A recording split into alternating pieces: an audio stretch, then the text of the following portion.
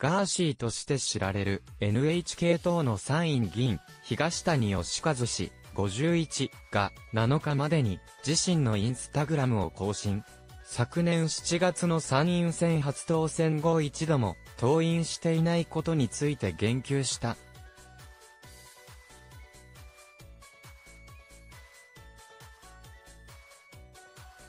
登院しないことについて、ガーシー氏は、国会に来ないのは目立つだけマシ。来ていても仕事をしない議員はたくさんいるという、ジャーナリストの発言を引用し、本質見抜いてる人はちゃんと発言してくれるアホは、目立ってる人間叩いたら、自分も目立つと思ってる日本は、ほんまアホが多いと試験を投稿。